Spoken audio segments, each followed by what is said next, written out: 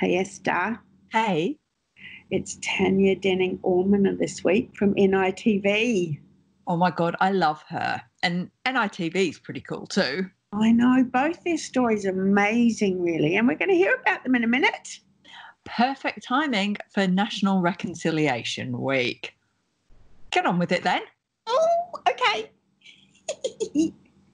and welcome to Running Free Skills. This week is a real pleasure for me because I love NITV. They make extraordinary programs, and I'm really proud that we're here today to celebrate NITV. But also, there's someone I think of as a really, really brilliant leader and a wonderful person to head up NITV. She's Tanya Denning Orman, and she's joining us today. Hello. Oh, hi. Thanks for having me. It's really exciting to be here chatting to you. I love it. Um, I think we like we wanted to talk to you for two reasons. One is I'm fascinated by your career and what's led you to where you are, but also this year will be the 13th birthday in July of NITV, and you've been a part of it since you know from day dot. So I think it's a great opportunity to hear more about that in a minute. Yes, we're becoming a teenager. oh, God forbid, an unruly one, I hope. um, let's start though by talking a little bit about your background. Um, I'm fascinated to know about your upbringing because I was reading the other day that under the Aboriginal Protection Act, your family was actually removed from your traditional land. Tell me about that. Um, so, with my nana, particularly, um, she was taken away from her family at the age of 10, um, really tragically. Um, in the middle of the night, the police came. Her parents had just passed away from tuberculosis outside of Bowen, and um, there were other family members that her and her little sister could have gone to, but they were taken, um, uh, you know, in the middle of the night by the um, police at the time and whisked um, by a boat. Imagine a 10 year old and an 8 year old little girl um, moved over to Palm Island. Prior to Palm Island, of course, they um, back then they would have been taken to Fantome Island as they, um, which was where what they called leper colony. So from that age, my nana was, um, you know, administered by the Aboriginal Protection Act of Queensland, and then by the time she had my mother, um, which was in 1951 uh, um, at Kingaroy. She was, um, you know, luckily didn't get my mum taken away from her, but you were a part of the action. My nana was um, a domestic and she had my mum um, on a station. So back then, I guess it all depended on the circumstances, the mission managers, and the permission. And um, luckily for us, my um, nana was able to keep my mum. And um, at that stage, um, her life was being shipped around between the different missions or the different stations for servitude in Queensland. So, with your mum, how did like how did she cope? Did she just like did she manage? And, and, and I know that she ended up marrying a British migrant or immigrant. Um, tell me a bit a bit about her life, just briefly. Yeah, no. Um, mum is an incredible woman. I, you know, she's my mum. So, but it was tough. It was tough. My grandfather was forever asking permission to leave the community of Woorabinda. Um, he was a truck driver and he kept on asking, could we leave? Could we leave? Um, could we start to keep our money that we're earning. Um, of course, all the money my nana earned as a servant, she never received. So it was all um, to be under the protection. So, uh, as in the Aboriginal Protection Act meant that the money was um, in trust in, a, in the state of Queensland.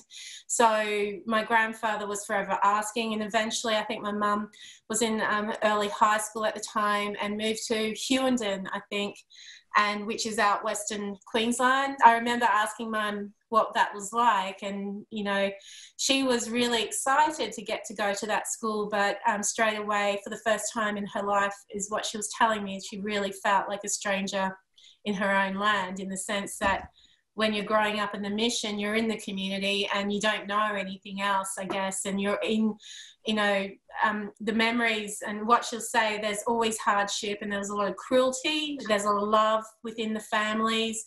Um, when you lose your family in the Aboriginal communities, you, you gain more families anyway. You're never without a grandmother, you're never without kin. So, um, you know, mum would, you know, mum still has all her family and, you know, friends mm. from those sort of, um, times, but it was tough. And um, mum wanted to leave. She wanted to move on and go somewhere else. And, um, you know, I think she was like 17 and, um, she was serving petrol at the local Duaringa fuel station, and um, that's where she met my dad, who kept on needing fuel. Um, and um, my dad, look, I'm a benefactor of the um, White Australia policy in the sense that my dad immigrated to Australia as what I guess was fondly called as a 10 pound pom. He made 10 pound by moving to Australia essentially. He was escaping his, um, I say escaping in a fondest way, but the way was, uh, uh, my dad's family are dairy farmers upon hundreds of years. So we're from Devon on that side in England, and he did not want to be a dairy farmer. So he, um, you know, he got on a plane, and dad fell in love in what was or is still today a beautiful black woman. And um, from that moment, I think, you know, mum was 17, dad was, you know, 27 and um, ever since then, you know, both he's been besotted, he's still besotted, and you know, they just celebrated their 50th wedding anniversary. So I'm very privileged to have grown up in a, a, world that has been, I guess, a different experience to many Australians. Let's move on to your career. So you wanted to be a journalist, and you became a journalist with the ABC. Is that how? And and why did you want to be a journalist? Earlier on, you know, I grew up in a mining town called Blackwater, so um, that which is out near Woorabinda. Um, so that was, I thought, the center of the universe. I loved it as a small town 80s kid. Um, and, you know, we, I grew up on a, a, a, what was called the Railway Reserve. And that was where a lot of the blackfellas were. And it was a, an awesome upbringing out on going out bush and just playing out bush all the time. And then you know, it was interesting. I'd go over the tracks into the school and what was being taught at school, you know, very 1980s, like Joh Bjelke Petersen era in Queensland, mm. very much mm. about, um, you know, I remember just being five or six and starting primary school and we were still singing God Save the Queen. And, you know, by the time I started to understand the world more in high school years, um, it was becoming really apparent to me that a lot of information um, our schools or people were getting were not um, not the information I knew and was not the world I was growing up in. As you know, I learned pretty early that this um, bad public perception um, it was, you know, leading to a lot of bad public decisions.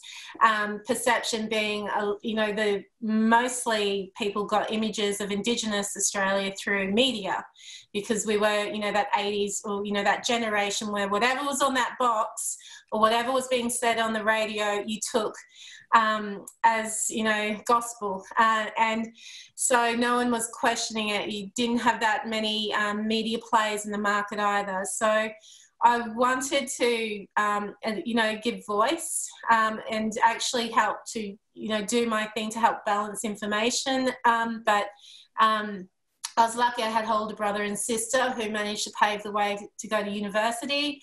Um, so I started to see, well, maybe I could possibly go to university as well. And, um, you know, being it, I cannot underestimate the role of mentors and the role of um, seeing what you potentially can be and that impact that that had on my life. Um, you know, a few years ago, I, I, saw, when I was a kid, I saw an Aboriginal woman reading the news, and it was the most interesting moment of my life because she was so well spoken, but so much full of authority as well. And seeing that, you know, these sort of little steps and triggers in my life, um, you know, made it possible for me to dare think that I could possibly leave my small town and um, you know, make it within the media. And so I went to university and I kept on knocking on the door of the ABC. I was, you know, not interested in commercials world at all. I just really wanted to get into the ABC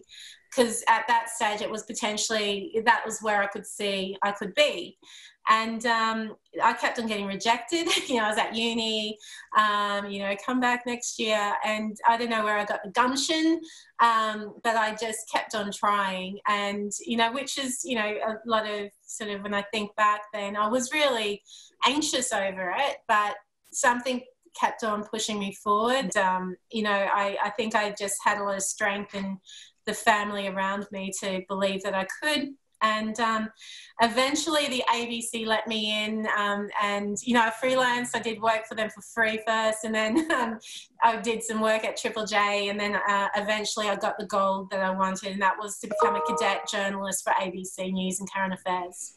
Wow, that's a great story.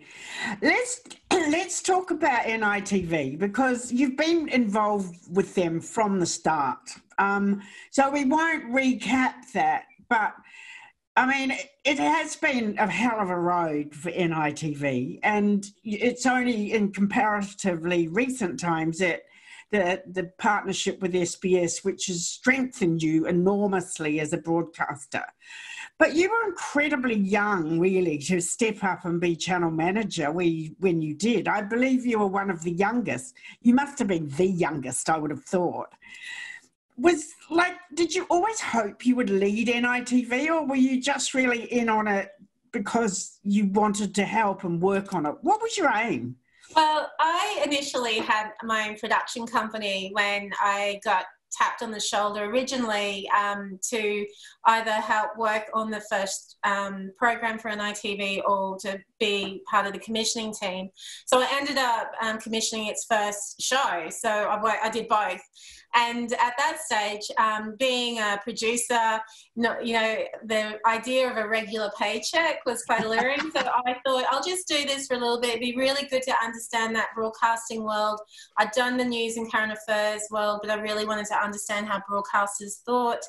And I thought I'll do that for a little bit, and then um, I'd go back on my merry way to the production company. And I soon realised um, I hate not finishing a job, and it's taken me a bit to realize I'll never finish. you know, it's about you know what you do for that particular point. But back then, um, so it was a case of no, I didn't think I would run the channel one day. But in my interview, I recall being asked by the that former CEO at the time, Pat Turner, um, where do you think you'll go? And I said to her, well, I'll run this place one day, very cheekily. And um, I, you know, it was, I think, and saying that to someone like Pat, she would have loved, um, you know, a young Aboriginal woman at the time having that belief. Um, so I totally turned 360 from the girl trying to um, jump on um, the ABC. And I just think, um, so I was in my, at that stage when I was interviewed, I was in my late 20s um, or early 30s for the job. And, you know, I think um, I, there's that confidence that you have with youth which I probably don't have as much as I used to. It's a bit more being knocked down and getting back up, being knocked down and getting back up than I, um, you know, back then that I had. Um, but at that point, I was really at an interesting pinnacle of my um, professional career of being able to go. It was sliding doors. I, I was um, winning. I had, you know, some real um, amazing accolades and experiences, and um, could have, you know, I thought, okay, I'll go in and try in the independent space again. And then I was just really, um, I, I, guess, lured into this idea of business and this idea of what this channel could become.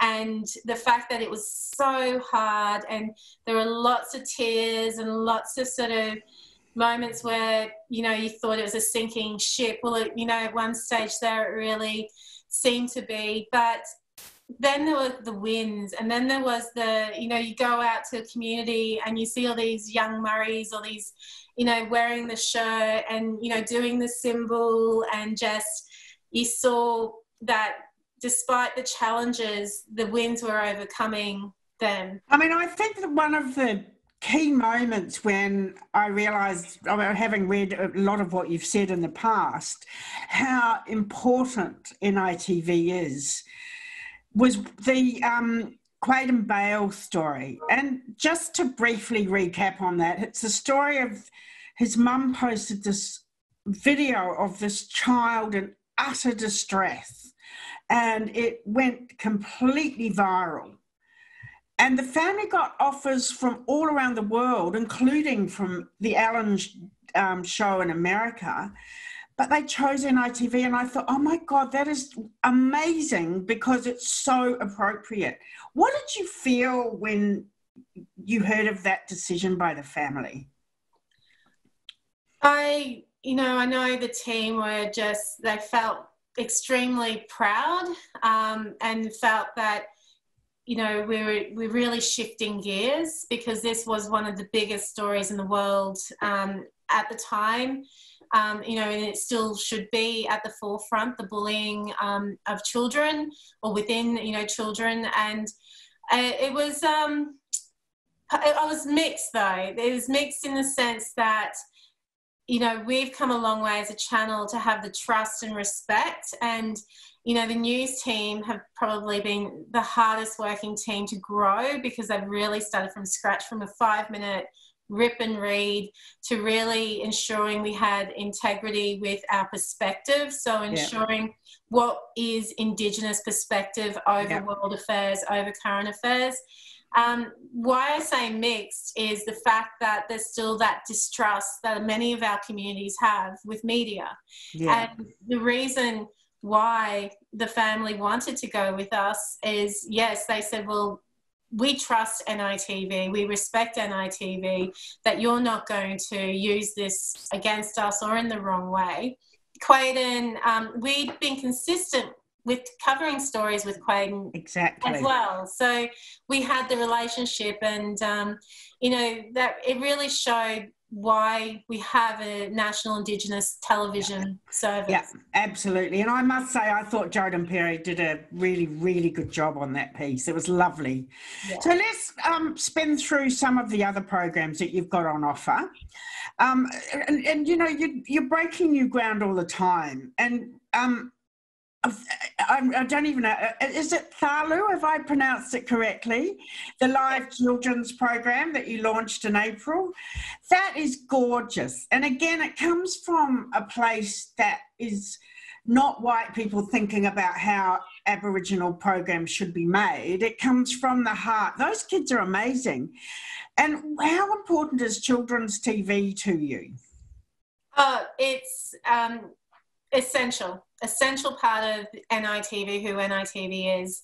And it's interesting, um, now that we're turning 13, we've had a generation of children, both Indigenous and non Indigenous, that have grown up with NITV, um, that NITV exists in their world. So, you know, um, it's, interesting. I've got staff members, young um, interns that, you know, what made you come to NITV and they said, oh, we love NITV. We've been watching it since we were kids. So it's interesting. I'm thinking, am I that old now? But it's, um, it's, it's uh, also in the bigger scheme of things, I think Australian children, Australian kids deserve to see themselves, let alone Indigenous children need to see themselves a part of the world that they live in and be a part of the world as well. And, you know, you really didn't have um, you know that opportunity to see young Indigenous children on Australian children before NITV yeah. in, in yeah. a scale in any sense of the word.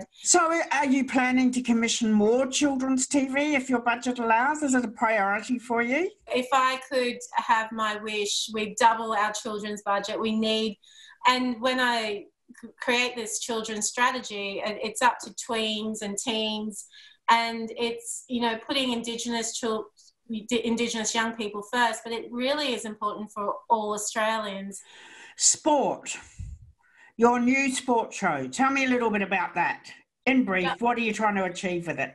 Yokayi Footy is more than a footy show, is like what we like to say.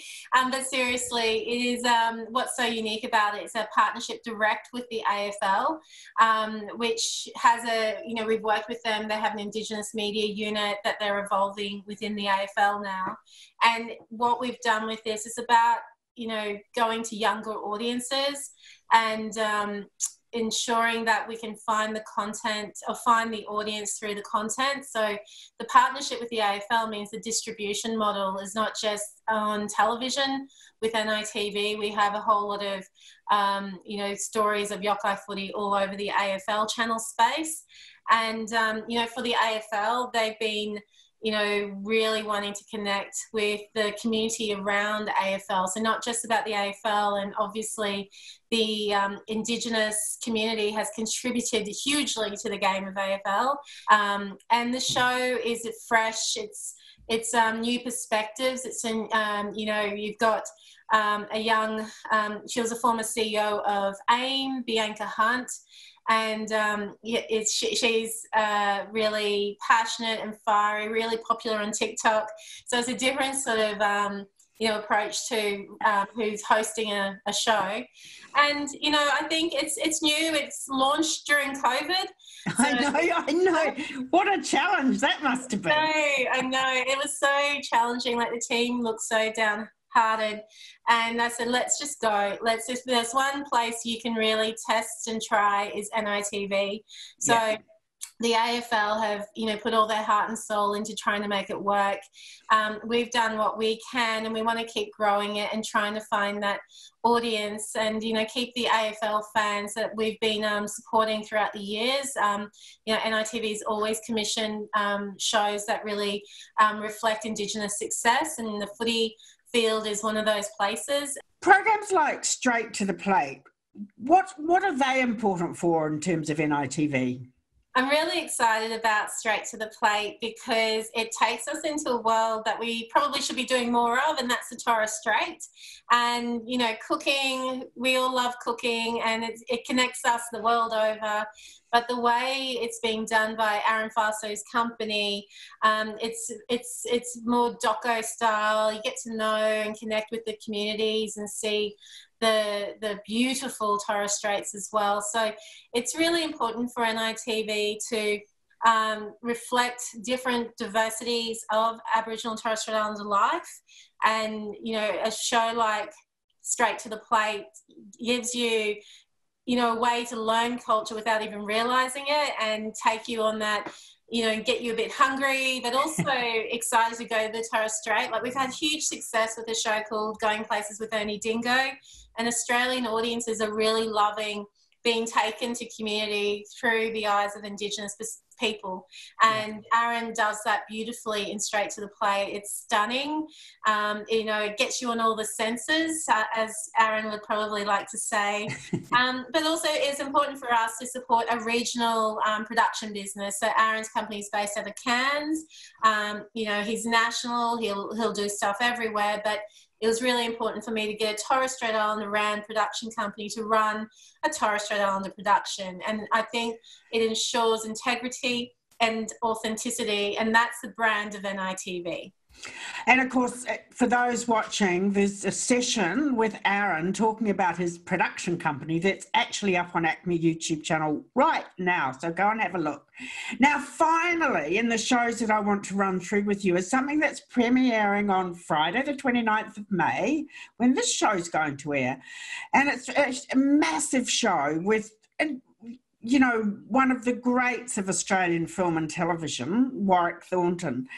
And, it, you know, I guess too, this sort of brings home how much NITV has achieved with showcasing talent. And tell me about this show. It'll be great. Looks awesome. It is one of those shows, it's like, it's hard to explain within a couple of minutes. It's, um, you know, you say Warwick Thornton. So if you think about, um, years ago, like I remember the impact of when I seen the opening scenes of Samson Delilah, yes. and and then you know being traced through this journey of a world um, that I, you know I wasn't a part of, and being exposed into it with very little dialogue.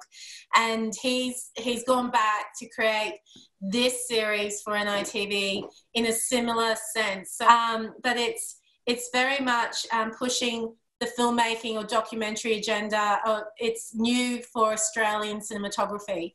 There, there hasn't been a series like this, and essentially in a world where we've all just experienced isolation.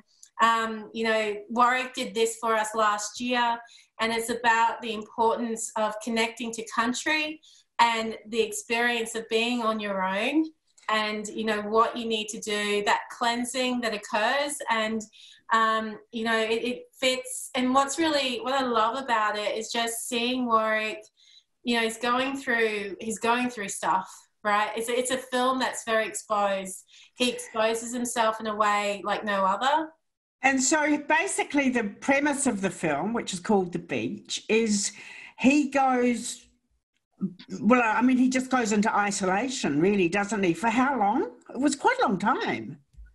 Oh yeah, it was um, you know, six weeks or the like. So it's a yeah, it was it was a while. He was you know, he he needed to get away from the city. Um, so he needed to get away from I guess so-called demons that he was dealing with. And um, it, what's interesting about this, he was this was being shot by his son. So the cinematographer is Dylan River. Dylan River. Um, and it, it's interesting. I'd like to see the behind the scenes of the making up. it's probably going to be yeah, um, the next next bit. But um, yeah, it's he it's a long time by yourself in isolation and you know it's beautiful so on the friday of as you said 29th of may reconciliation week we're simulcasting um, the beach for the whole series. So six eps back to back. Wow. yeah, it's it's interesting um, on SBS, and you know we really hope people you know sit back and watch it in isolation with us. You know, keeping things simple and you know do it with their families and you know support NITV and SBS as we you know make history yet again. Sounds like a brilliant binge watch. Well, I guess my final question to you NITV in 13 years has achieved so much. If you could think of one thing more that you'd like to achieve in, say, the next five years, what would it be? One thing? Silly me. um, yeah, one is never enough. One thing. Uh, Look, I really would like to create a channel that could get more Australians to engage with and really do it in a way of the pure, authentic, cheeky way that us mob do it. So I'm really hoping for all Australians' sake that they can connect with the greatest and oldest storytellers on the planet and really grow the channel's reach and impact into more homes. Um, we're such a small channel. We launched in a world of, you know, new media coming through, um, which has also been our uh, benefit as well. You know, um, in that sense, I'd like to reach more. Um, in a content sense, I really would love my drama series up there, um, winning all the big awards and being, you know, the accolades. So we're 13. Um, you know, we're, we're, we're that edgy little teenager at the moment. So we're starting to, you know, speak up a bit more and give people a bit more cheek. so, you know, wait to see when we're about 16, 18, you know, once we really are, um, you know, coming completely of age, um, look out Australia. What a perfect way to end. Tanya. it's been so lovely talking to you. As I said, I'm a huge fan of NITV and all the work you do. So please keep it up and whip that teenager along and get them to come of age. But thank you so much. Uh, thank you for giving me the opportunity to talk of my favourite subject.